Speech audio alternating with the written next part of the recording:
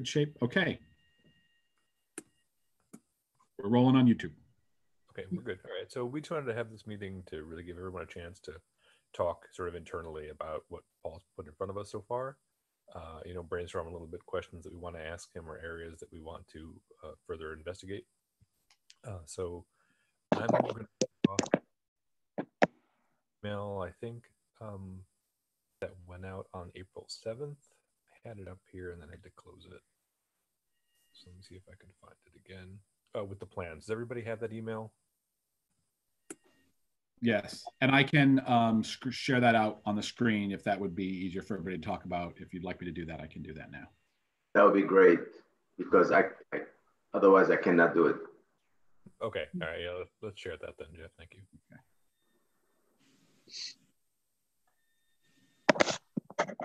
Okay.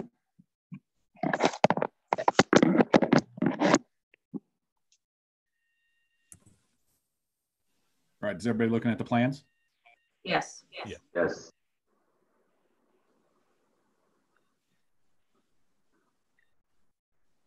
I do have the volume all the way up on my end, but Harmeet, I'm having a hard time hearing you. Is there any other way to, to turn up the volume a little bit? Is that any better? Just barely.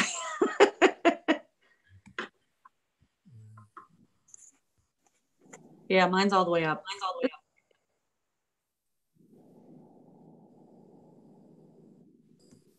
All right. How about now? Any better? It's better. Thanks. Appreciate it. Appreciate it. See how well it works.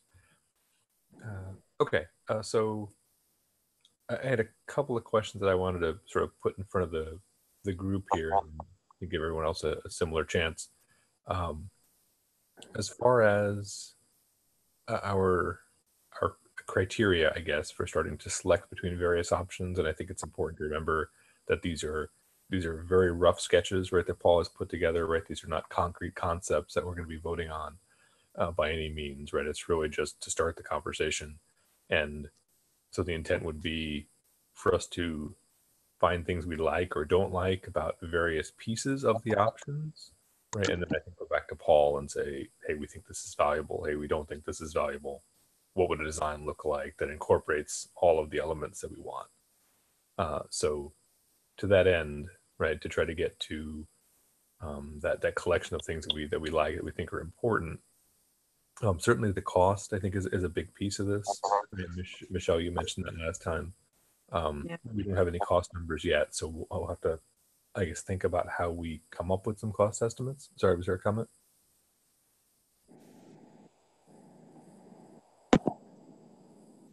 Okay, uh, and then I guess everything that cost. Uh, uh, Jeff, the other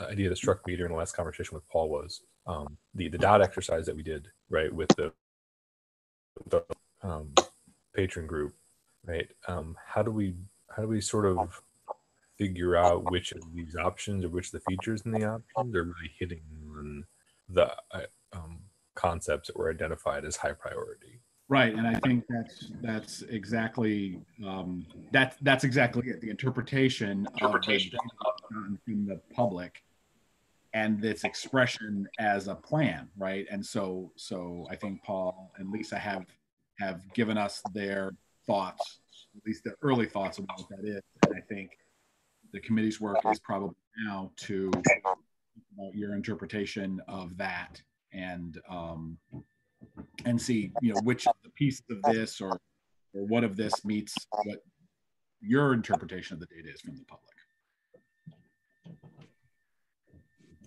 So do you do you have the data from Paul handy? And You, you probably don't want Uh, to, right, right during this discussion. Um, Give me a sec. Uh, we'll try to to bring that up. Let me just I'm gonna mute myself. for a second. Okay. Go find that email. I'll be back. uh, so just while Jeff's doing that, any other thoughts from other, other how we how we could go about you know identifying what we really like, what we don't like, what the criteria should be? Well, I noticed from the dot exercise that um, the greatest percent, I think it was like 56% wanted to expand collections. And while he has on the um, on the drawings, like if you start at the, the drawing, like even number one, um, he's, he's written down that he expands the collection, but when you compare it to the drawing of how the library is right now, it doesn't look to me like it's any larger. Um, and I realize it's just a drawing, but um, I, I don't know. Every time I look at all three sketches, I just don't see that he's actually expanded the space for fiction and nonfiction books. Okay, and I think I had a, I think a similar question last time we talked to Paul, and so I think one of the updates he's going to make for us as they formalize some of these, um, uh, some of these concepts, right, and have have more access to their office and the tools they have, is to add the square footage and the linear shelf lengths that that are being added with each one of these concepts. Uh, Right. So yeah, I, think I think that's um that'll definitely be one of the items we want to focus on once we get. Right. That, that would be very helpful. Other thoughts?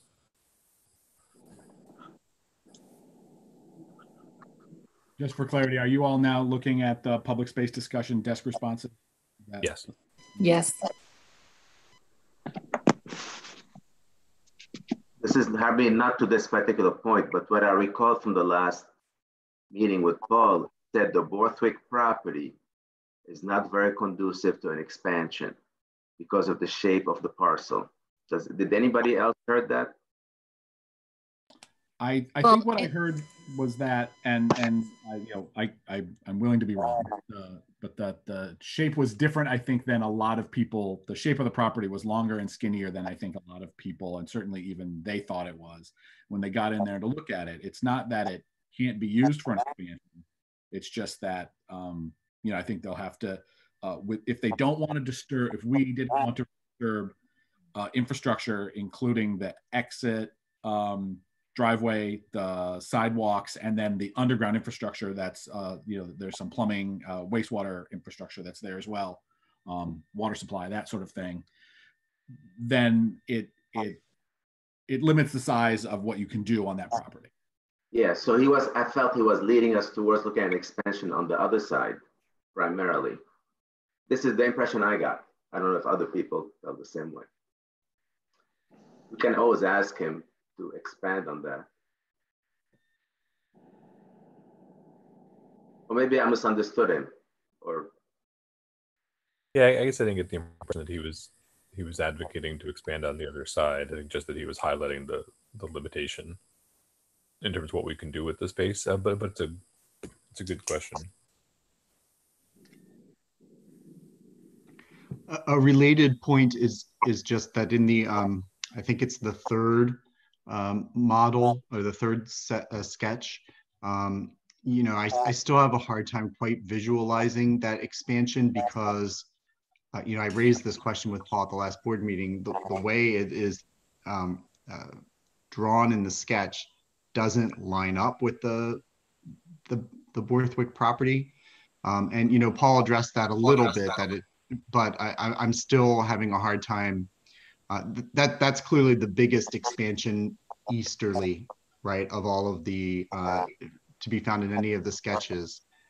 But I still have a hard time seeing how it fits onto that space. Uh, Brian, you're referring to the no, what's number three here on the chart? Or? That's uh, uh, no the third sketch. Um, uh, so it'll be on page seven, I think.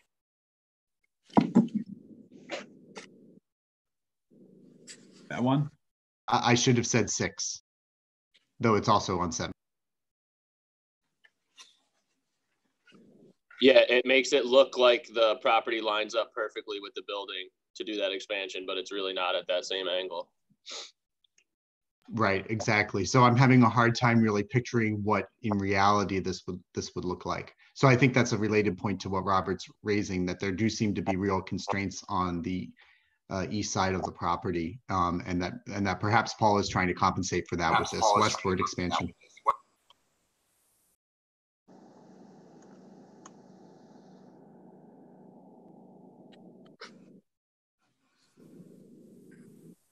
Any thoughts in particular about the the Borthwick property sort of concepts and whether large meeting rooms um, make sense for how to use that space.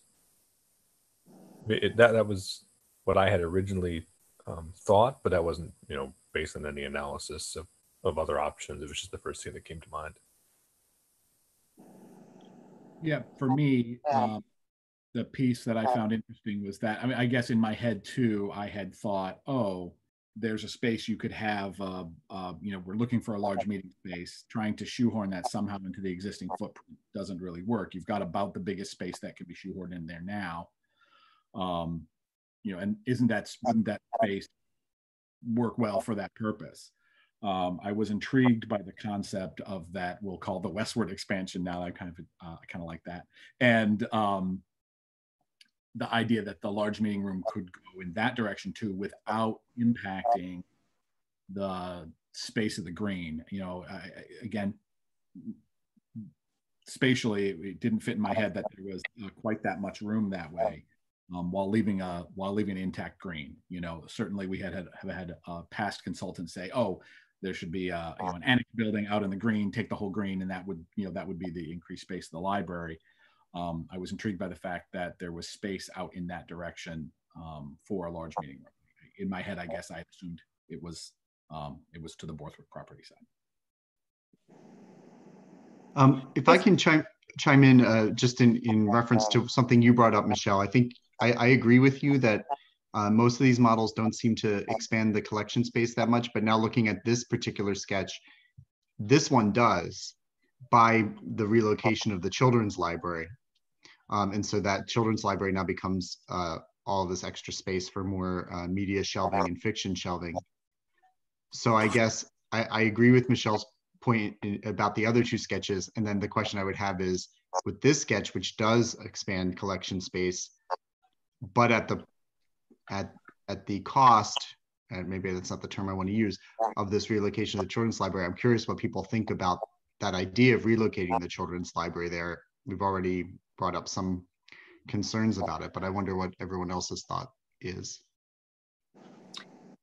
Um, well, first, before we get to the children's library, I actually did look at, at this sketch and, and when you look at at least how he's drawn the, the shelving, um, because he's put the media in with the fiction and, and added more tables, um, it, it actually, it really didn't look to me like it was extra space for materials. It kind of looks like the same space. He's just moved it into a different area. And then, like I said, added um, media and more tables and a reading room to it. Um, so yeah, so my concern really was in, in all three sketches, it, it didn't look to me as if he was expanding the space for, for um, the collection. Um, but as far as the, the children's library, when I first saw the sketch, I thought, oh, wow, that's so great. The children's library is right near the green space. Um, and uh, having been a, a, parent of young children that use the library quite a lot, I just thought that that was a, a great idea. But then someone brought up in the meeting um, how having the children's space so near the exit might be an issue. Um, and, and that immediately brought me back thinking that, well, maybe that's not the best location for it. Do you recall what the concern was having it near the exit? Uh, the kidnapping of children. Oh, I think that or, might have been me who brought that up. Yeah, Michelle. Yeah. And, and it wasn't so much the um, to me that there was because there's a there's an emergency exit out of the existing children's library as well.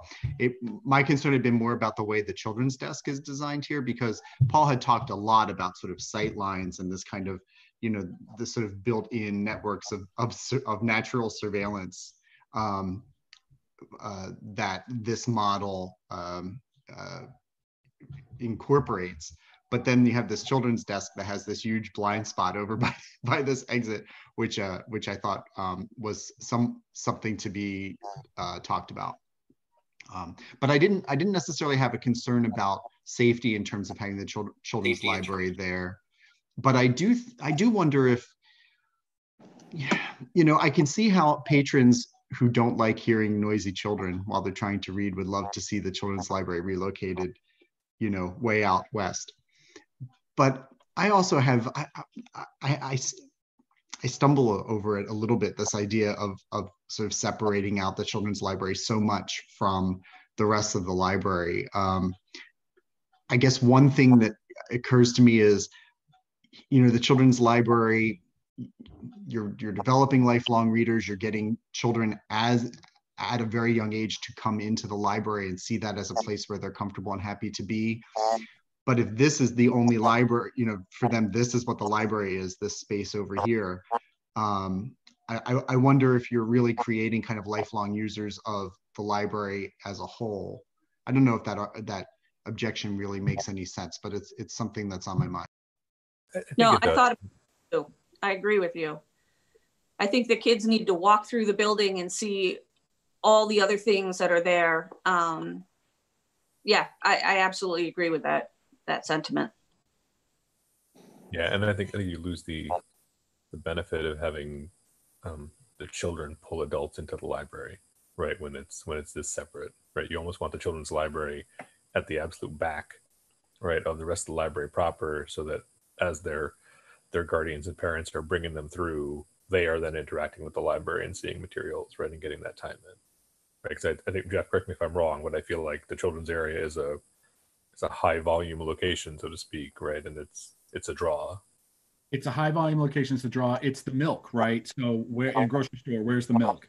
Back left corner, right? Yeah. Because you go past everything else to get there. And, um, you know, absolutely, when we talk about the children's library, um, bringing parents into the library is when we tend to regain uh, adults after, uh, you know, uh, uh, young adults frequently, you head off to college and you're not using a public library so much, then um, as they uh, as those folks begin to have children, they come back to the library. That then forms the core of our business.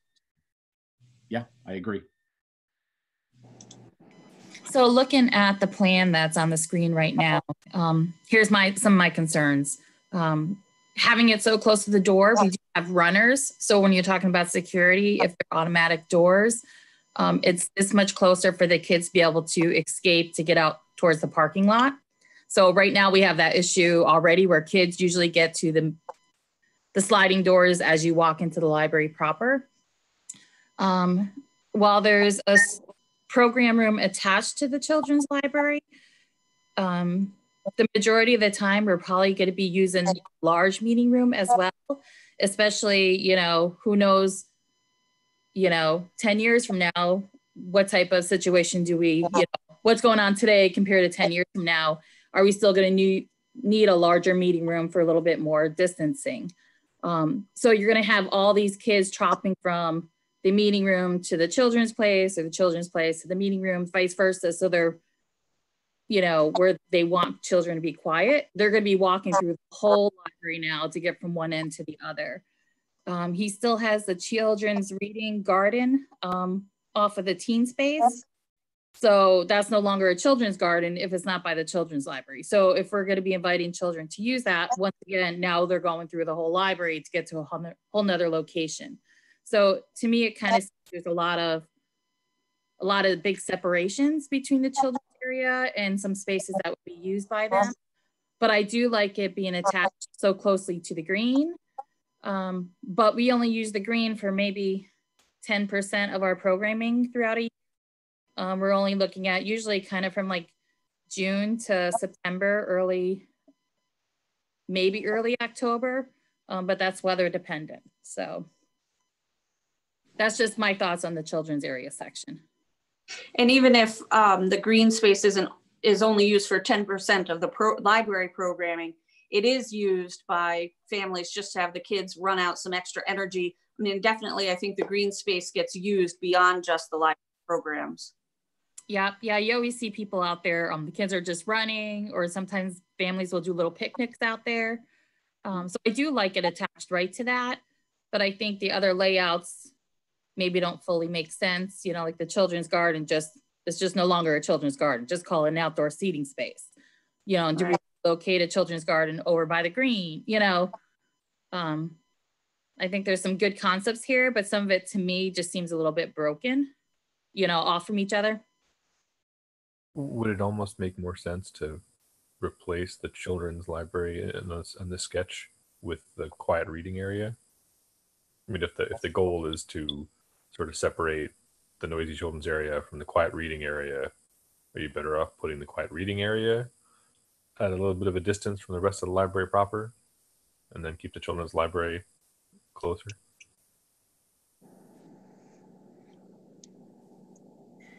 I don't think he has a designated quiet reading area on this sketch. He's got some, you know, tables off in the corners, but not not an actual designated area for it.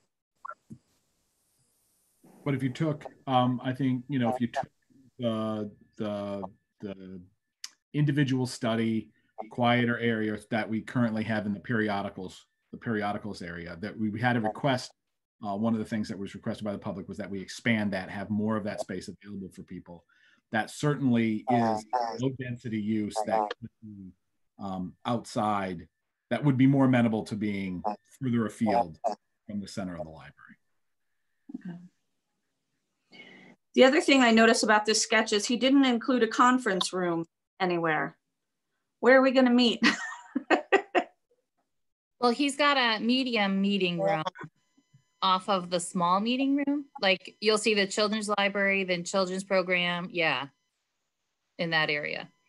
So one other thing that I was just thinking of um, is that the two information service desk, you know, is um, staffed by the public services department.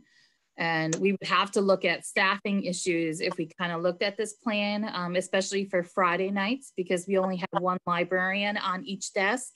So when they go to take their breaks, one librarian is actually watching the whole library and they can't do that with this type of a plan. So we would definitely have to talk about, um, you know, staff schedules and that sort of thing. And just to be clear, on the other sketches, he does include a conference room along with a separate media meeting room. Um, so the third sketch really does, does leave that out. I, and I think some of that is this second floor uh, gets addressed a little bit on the second floor. This space is currently the mezzanine space. Um, this get, this got kicked around as being either um, either open as like a like a, a, a high clerestory vestibule open space at that part of the library, or if you wanted a second floor in here, you would have a classroom and seminar space up there. So so we're definitely not negative on total meeting space. We're we're we're into the positive on that. But um, you know, which of those spaces were declared as the board That does bring up another question I wanted to put in front of the team, and that is um, second floor utilization, right? So, uh, depending on how far we go with the expansion, right, we've got the the current second floor space, right, with all the poles, and Yep. then potentially a lot more second floor space if the Borthwick expansion ends up being a, a two floor solution. Um, what are we comfortable putting on a second floor, and what are we not comfortable putting on a second floor? So, you, so for my opinion, I, I, second floor, the concept of a second floor that has any routine space on it seems like a bad idea to me. Um, there are certainly libraries in the world that have multiple floors, uh, is, is, is a workable thing. But uh, back to Chris's point about staffing, uh, minimum staffing, uh, I think adding a second floor means that you've got to have a person that's routinely on a second floor with that space if you've got public up there. You know, I, I think that's, you know, in the second floor sketch, let's just take this as a concept. This, you've got the classroom and the seminar space up here. I think that could be workable if it was sort of a bookable space. It wasn't a place that you had immediate access to, kind of had to be let into. But um, it's definitely uh, a, a nook and a corner. I think, it, just my opinion, unless you were really going to get a real second floor, which uh, you know I think was proposed back in 2000, um, and the committee was not interested in. Um, you know, until you get where you're going to have a big chunk of your staff routinely being up there like on the second floor, it feels like second floor spaces ought to be more more likely to be the staff spaces that would then leave more space on the first. Yeah, I think putting the offices that are on that first floor over by like the maker space and stuff, moving those all up to the second floor Um, and then opening up those, the office space rooms that he has on there, maybe a little bit better use of the space. Um, cause I agree with Jeff, you know, then there, there's definitely security issues. Um, and safety issues if we allow the public to go upstairs and there's not enough staffing or maybe there is one or two staff members up there or one staff member it, that's now a safety concern you know um, once you allow the public up there they you know they have the thought that the whole space is all there so And Jeff, you were breaking up a little bit when you were when you were talking, so just to make sure I, I captured the gist of it. The thought is um second floors, avoid collection spaces right up there, avoid anything that's sort of generally accessible to the public. So staff offices would be preferential or possibly spaces that you reserve. That I yes, I think you, you caught it exactly. I wouldn't want to see, uh, just from my from my perspective, I would not want to see um, casual and occasional public spaces. You know, booked public spaces like um, like a classroom, more of a formal space. Um, but staff are up there because offices are up there too. Um, I think that could work out. But the like the idea of taking the nonfiction section and putting it up on the mezzanine now just leaves too many nooks and crannies and too little staff um, routinely up there to observe what's going on. I've worked in libraries that had lots of nooks and crannies. It's not a good idea. Another, um, the, the, you guys are, are raising so many uh, interesting i- issues here that uh, many of which I hadn't even considered. Another thing we have to remember about this particular sketch too is uh, that this involves a, a major uh, engineering engineering work, right? Because what is it that we need to move from the main entrance area for this one to be feasible? It's the transformer, the electrical transformer that's in that sort of the round brick structure as you're coming in on the library. It's on your left as you walk in the front door of the library. So in terms of expense, um, I imagine uh, that's going to be a huge part of the expense of this particular conception. Definitely Uh, wouldn't.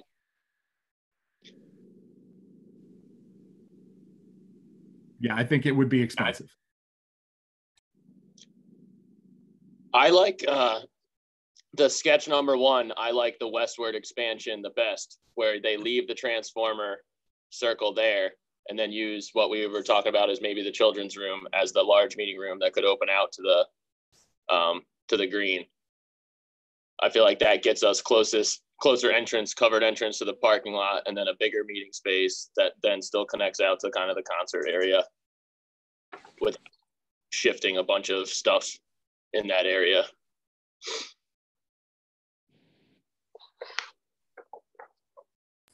Yeah, that, that makes a lot of sense. In this scenario, we're not using the water property, right? Uh, but that's why I would, I would I would caution you from saying us in this particular drawing. Yeah, the the, the Borthwick drawing is just sort of that uh, up in the top right. You see, you know, link to future edition. But I think for the purposes of this discussion, you know, we can say, what's the use of that? If there was expansion in that area towards the Plaza Green, what would be a good use of that? What would be a, a use that we could all see that would be reasonably would be safe, would be um, useful, would be meeting the, the public has been asking.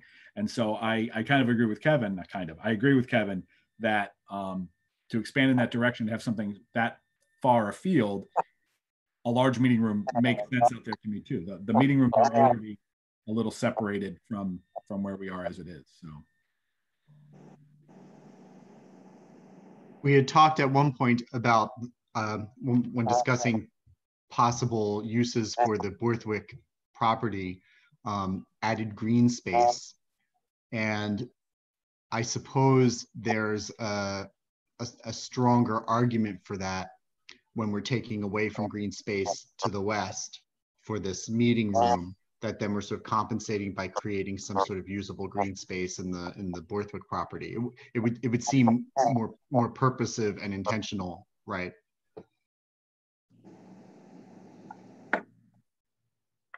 You mean to demolish the property and use it as green space?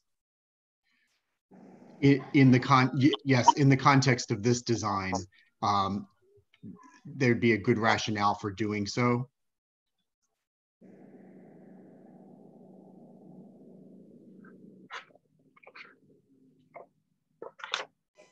Jeff, do you know like approximately how far, like the large meeting room that's here, like how far would that go out into our current green space?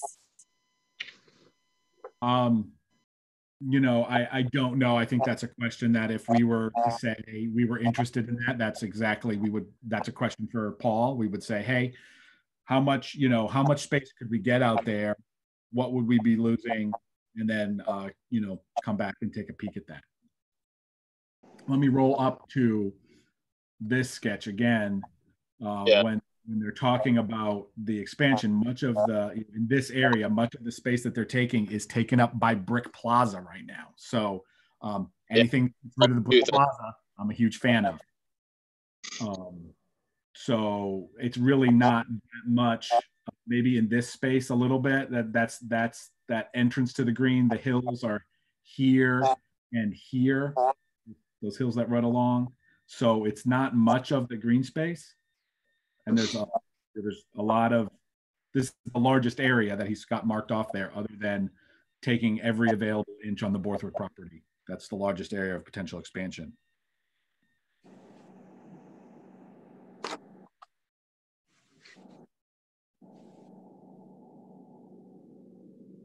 to that end, uh, would it make sense for us to to provide Paul with say a rough estimate or a rough measurement of how much of that green space we'd be comfortable giving up? I mean, it, it'll be a judgment call, right? But if if if uh, Jeff or Kevin or someone essentially goes and stands in the green space and says, "Yeah, this feels like a minimum amount of space that we want to retain," right? When you're looking at the green space and the stage, essentially everything behind you is what we're prepared to sacrifice right for expansion in that direction I think when you when you look at this uh, one that's up on the screen right now, and like not where the kind of arched outer edge is, but that's fine. Like when we have concerts and stuff on the green, people are rarely pushing back past kind of where the garden in front of handicap and where the um, the other garden up to the right, like where they kind of pinch off the green area. You never really see people expand it out past that for any of the concerts or anything. So I think we'd really be saving enough green space over there even if we push 10 or 15, 20 feet west of where the plaza line is now. okay The people right. that I see that are at the concerts in those spaces are the people who are unable to walk on the grass and so have to keep either a walker or a wheelchair on the plaza itself to look basically down this way to look at the concerts. We have some people that gather here watch the concerts, and I think that could be addressed somehow in this space, actually bringing those folks closer, um, making it more accessible. okay so that's that's actually a, a good potential adder i guess for the for design criteria would be to to provide a um, a handicap accessible place or mobility limited place to Right. watch concerts yeah okay when we had a, a design done to, to do a, a band shell in this area, one of the things that was added was a walkway that came up, kind of went in the front and then met up this way uh, with a little pad here that would have allowed exactly sort of more discreetly a place for people to to get to while allowing also the bands to um, move their equipment on rollers to the stage. So I think there's some merit to some of those concepts.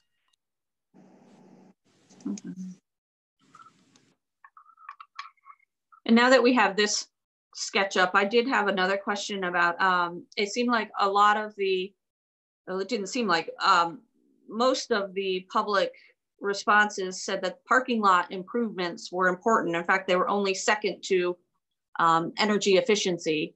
Uh, and parking lot improvements, I thought meant expanding the parking lot, but he hasn't addressed that uh, on any sketch. Um, and I know we have talked about entry accessibility, but actually when you look at the public responses, that was pretty low on the list of priorities. Um, but parking lot improvements, perhaps that does include accessibility. I don't, I don't know what each public person, you know, was, was thinking when they, when they voted on that. But, um, but I do know that having enough parking space has been an issue many times. And is anyone else concerned about creating more parking space? I think it would definitely be a good idea. Is Yeah. it surprising Paul didn't address that at all? Or were we never going to address parking? I think it's the limitation of the property, kind of like uh, it seems like within our parking area, we've gotten all the parking we can out of that. So without kind of taking another section for adding more, I don't really know that you can add a ton more. I think they said if we, we reworked it, we could get maybe four more spots in that area if they were angled differently, but you're not going to gain like a whole nother parking lot five out of anything. All right. Uh, if um, you- I- If you use the Borthwick property as green space, you could expand the parking lot into the current green space. But, uh, but I don't know how much it costs for demolition. That sounds expensive to me. wasn't there, um, when we were looking into, uh, the plaza, uh, remediation at first, didn't we learn that the, um, accessible uh, parking spots were, that we had too many of them? it, it's not that we had too many of the accessible parking spots, but these, um, the access spots in between, a few by, um, you don't have to go handicap spot, accessibility spot, handicap spot, accessibility spot. You can, you can have handicap spot, um, handicap spot, handicap spot, accessibility spot, handicap spot, handicap spot, accessibility spot. Two, two, um, two handicap spots can access one accessibility area. So it's just with a reworking, a restriping of this a little bit, the, the handicap spots that are on this side could be brought over to here. And then we would gain effectively those spots for this side. So that's where we're, we're saying you get a couple, you know, you get, might get three, three spots there. Um, nice close spot. It's, it's worth doing just through restriping. But then you have to address the slope issue here as well. I see. So that, is that, that was what you were referring to, Kevin, about the restriping gaining us in spots? Yep. And the only question I have about that is, that seems like a, then a, something that we should explore. But I, the one thing I just wonder is, so that would put us in compliance or keep us in compliance. Would it be the best service to um, patrons who require these spots to only have those um, loading and unloading spaces on the driver's side, right? Or which I, I assume is what what happens when you com- compress in this way. I, I think that's right because you're you're that's a perfect that's a perfect point. There's there's what does what is required by by the code, and then what's convenient and the best use, right? So maybe you'd have to look at how how often are those spaces being used, um, using the the ramp accessible spaces on that, but it would require um, someone to turn the car around and back in if their ramp accessibility had to be on the left side or right side of the car in particular, right? Um, and I think that would be difficult for some of the buses that come in. I do worry though, if we're talking about um, expanding the library and expanding programs and having very large meeting rooms in a teeny tiny parking space. um, if we're expanding so much and yet leaving the parking area exactly the same, it, it doesn't it doesn't seem to make rational sense to me. It's going to be a challenge. And Michelle, I think you're exactly right. And, and Paul mentioned that a few times. He said, oh, we might have to talk about the timing of programs and maybe the spaces, you know, at times with town hall. Um, you know, town hall, uh, the courthouse uses our parking lot at their busy times. It would then be, uh, we would have to, pro- we would have to have our programs at times that maybe town hall was less busy so that um, we could expand over into their lot, which happens naturally anyway, but it would be, have to be a little bit more. Yeah. If I could say something else about the parking situation, I totally share Michelle. I think Michelle's thinking here is is right on that if we're expanding the library, it's we're just going to have increased parking issues but then the cynic in me also says that if we add, let's say we add 20 more spots, that will just be 20 more spots used on Tuesday night by people going to the courts, right? That I mean, that it won't, we mm-hmm. won't solve the problem. We'll, you know, it, we'll just have a di different way of counting the problem, I guess. Mm-hmm.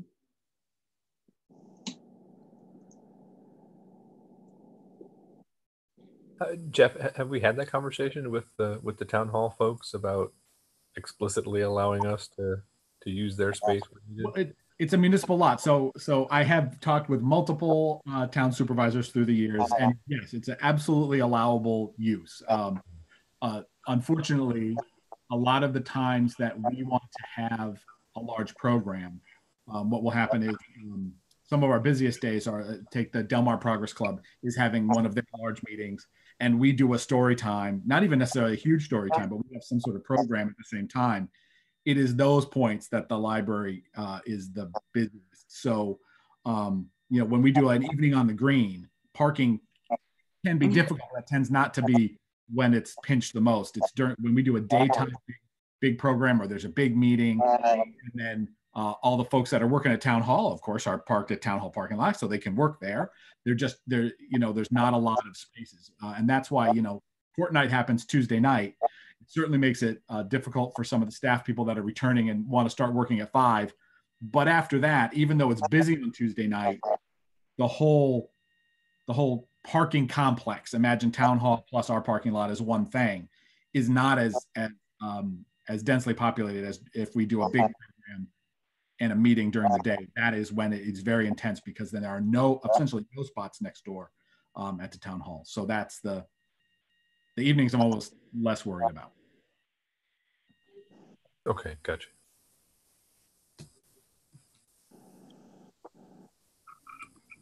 Other other thoughts or questions that came up going over these signs?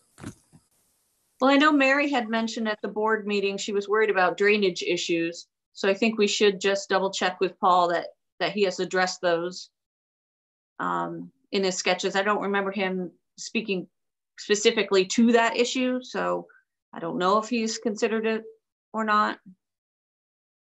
Yeah, I think he mentioned like, oh, there's drainage and uh, what, you know, what, what's the available space? What's the available green space for drainage? But right, nowhere, none of these plans are to the point yet where they would consider square footage of, you know, percolation rates and, and any of that. So we're just, we are, we're miles from that yet. But I think it's a good thing to keep in mind as, we as we, you know, begin to move forward. You don't want to put hardscape over every possible spot uh, we're not allowed to put hardscape over every possible spot for um, where rain can perk down through.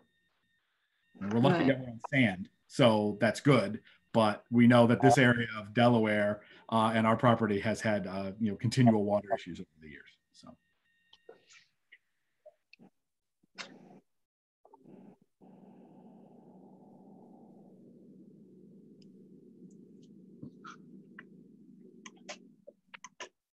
Okay, so we talked about the, the parking space, uh, the second floor, uh, meeting room locations, children's library. Uh, those were the big things on my list. Uh, Catherine, you've been really quiet so far. Any thoughts? Not to call you out, but I kind of No, that that's fine. Um, if you go back to the to number one, um, the right there, uh, where where we didn't move the transformer, the circ desk is still nestled right in the middle of the library. And I think one of the things that we haven't talked about yet is how do we get the circ desk closer to the main entrance so that not only is it the first stop for people who um, maybe have mobility issues or just need to come in and um, get a hold, but also how it can be the last stop when people um, are on their way out and we can you know, do the final, oh, have a nice day kind of greeting. So uh, a couple of the plans, I think two, um, moves the circ desk, this one exactly. So now we have the circ desk and the ref desk kind of um, uh, in the same sight lines. And the entrance, it's easier to get to the circ desk. You have a library of things area. This one just um, centralizes um, access to the circ desk.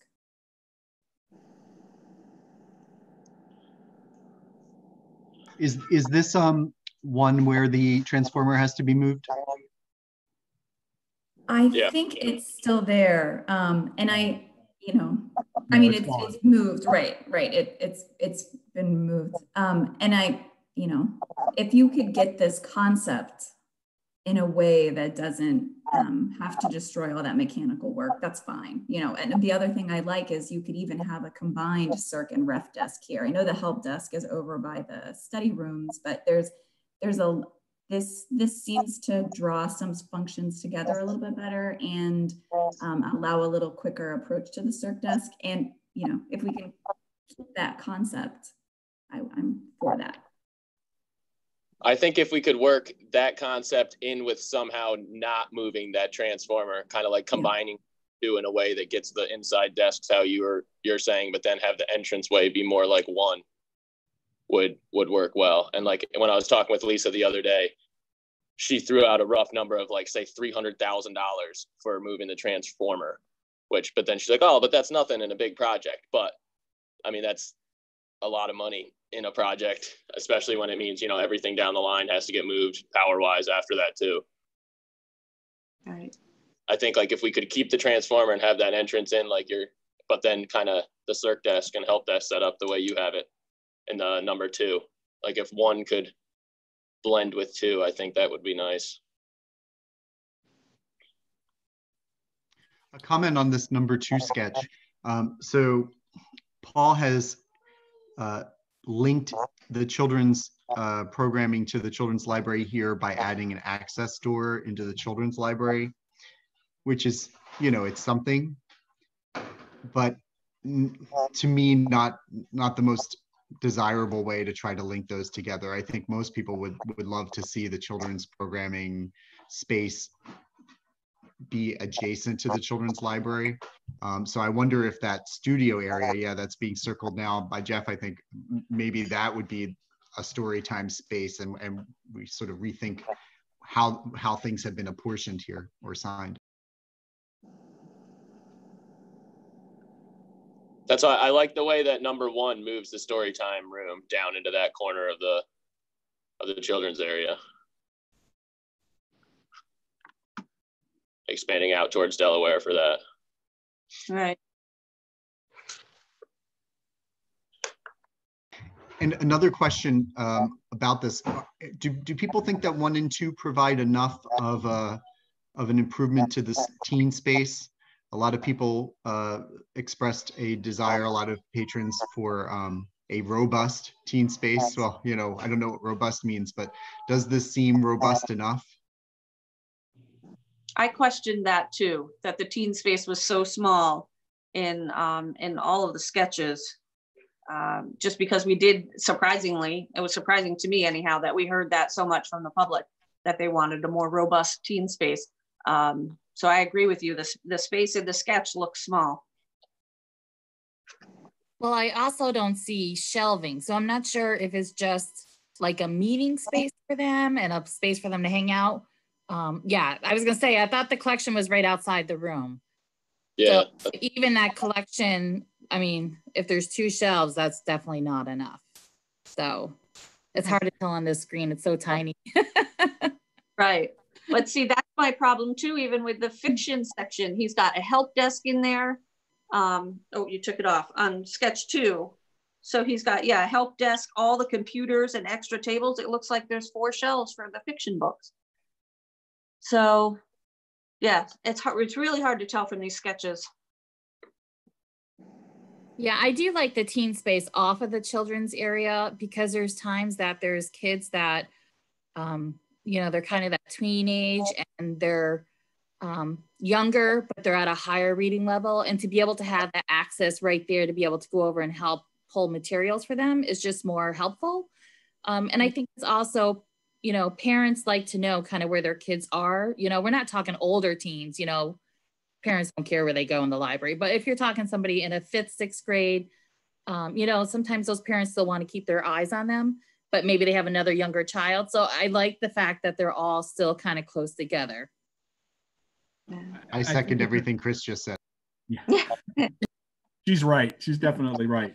Uh, I think the the thing that we have to keep in mind for a project, the certainly a project the size of uh, scope uh, as sketched out in this, you know, first concept, and um, and still in the second concept, there are major compromises to what the public has asked for that are going to have to be made. It's just, you know, the size of the building is the size of the building. And I think the work of the committee would be take what you heard, what you think, um, you know, the data that we have available to us, the comments that we got, and say, okay, well, there's really 10 things that the public have asked us for. Choose two, and that's going to be the theme of the expansion, right? Uh, you know, if you're doing um, a, uh, something, if the if the 10 year plan of the library is something along the lines, I put up sketch one here. So we have, and we don't even have sketch zero, which is the leave the floor space exactly as it is and just try to reconfigure inside that space for maximum efficiency, right? But we're taking, you know, some modest expansions here. This is, if this is our 10 year plan, even in that 10 year plan, major, major compromises. And, I'm, and this isn't an argument against it. It's just, I think, a realization that we're absolutely not getting everything that everybody wants. There will be things that just have to drop off the, the, the back of the bus. And that, um, that's going to be the work. That's the, that's going to be the work of, of this committee is to try to decide what prioritize those, you know, what's your top one, what's your top two. Yeah, Jeff, that's a great point. Uh, I had uh, sort of two thoughts um, about how to start working that. Um, uh, one was, um, if you wouldn't mind, I just want to spend some time, uh, Jeff, with you and I running through the results of the surveys, right, and maybe take a first pass at trying to align uh, what we think the concrete deliverable could be or concrete outcome could be for some of the highest rated item highest rated items Yep. right and then come back and put that in front of the larger committee and the and the board right and say hey this is what the what the public's feedback was here's what we think they meant right and what it would take to deliver that right and then i think as a larger group we can start to do that rack and stack of out of the 10 things they said they wanted which are the two or three we really think we can deliver And- on Paul has done some of that work for us. Um, he did put all the information together and identified uh, the major priorities in that um, that board update, Jeff, that that you had emailed. Yeah. Yep. Yeah, he has a whole page where he's just highlighted the the greatest priority from why meeting, the public discussion, and the staff discussions. Yeah, yeah, exactly. Yeah, I, th- I think we just we just take this and, and start to uh, start to brainstorm a little bit what, um, yeah, I guess what the definition of success is, for lack of a better term, right? For for the highest rated items. Right. And then uh, Jeff, the other um, item I wanted to bring up real quick before we run out of time is thinking about um, library usage patterns, right? In ten years from now, right? I know a lot of people at a lot of libraries around the world, right, and around the country spend um, spend time thinking about this. Uh, and I, I, not to put you on the spot here, right? But um, maybe for our next discussion or even before then, I'd really like to hear your thoughts on how we think those usage patterns are going to change and what we should be anticipating. Yes. Uh, so I'll just take a very, uh, a very thin uh, veneer example of that exact concept. It's an important thing that we discuss. What we heard from the public was they wanted to increase collection space, and we had heretofore dropping physical circulation uh, and uh, increased interest in electronic download. So those two things, what the public has said to us that they're interested in, and then what they are actually doing do not match up. Hmm. So what that will look like post COVID, there'll be some new information into that. But that's something I mean, so yeah, so people say, I want this, but then they don't actually use this. That's a hard that's a hard concept to get to. How do we marry up without disappointing people? You know, we said we were interested in your input, but then when we offer uh-huh. something, if we are we going to offer a thing that then is five years from now of decreasing interest in use? Yeah, and I think that that's a, a great point. My my assumption, as far as the feedback we got from, from the general patron group, right, is that they're mostly thinking about what they'd like to see right now, right? I, I don't think a lot of the feedback we got was specifically how do I how do you think you're going to use the library in 10 years and what do you want the library to look like in 10 years right so, so mm-hmm. that's a filter we'll have to apply to say yes if i could do this tomorrow for you i would but if i do that for you tomorrow it's going to be obsolete and wasted in 10 years so maybe we don't prioritize doing that right away. Right. And I think we underpin, you know, we hedge against that by underpinning the flexibility of space in everything. And that's where, you know, that um, the the gorilla in the room are those poles that hold up the second floor of the mezzanine, right? It is in the ultimate of unflexible design. That's the that's the the part that sits right next to the dictionary definition of unflexible design. And Yeah. at some point, some some library, some version of us and a board is going to deal with those poles. And the question is, is now is now our time to begin to discuss to deal with that, or is that something we defer for the future? Yeah. Okay, I know we're just about out of Jeff. time. Um, last last thoughts, comments. Go ahead, Michelle. What's me?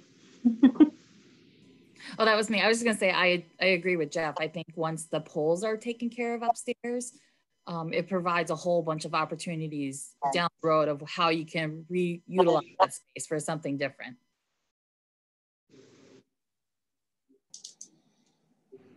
I And I- have just, Go ahead. go ahead, Michelle. I was just gonna say, I thought Jeff had a good point earlier that we do still need to see a sketch from Paul that just reconfigures the current space, just to see what it is we could do with what we already have.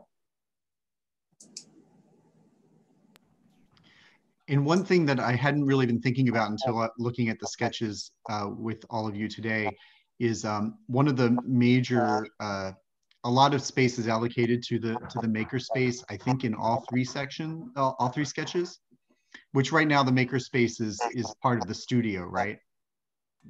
Oh. In, the current library configuration. Yeah, there's, Do we some of it's in the studio and some of it's back near my office. Yeah. Got it, like where the 3D printer is and so forth, or or that's considered part of makerspace. Yes. So the only thing that I, I note there, is I, I'm very, I'm very pro having a makerspace, expanded makerspace and, and, and unified or cent, you know, centralized makerspace space.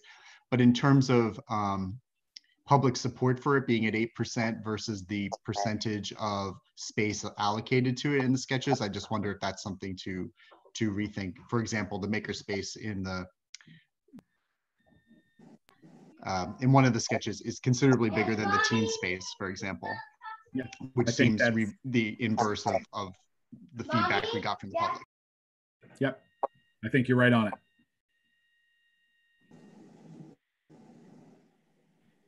Okay, That's Any last uh, comments, concerns?